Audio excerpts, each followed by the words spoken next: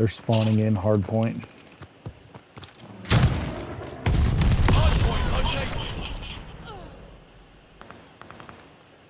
Okay, we're gonna save that clip.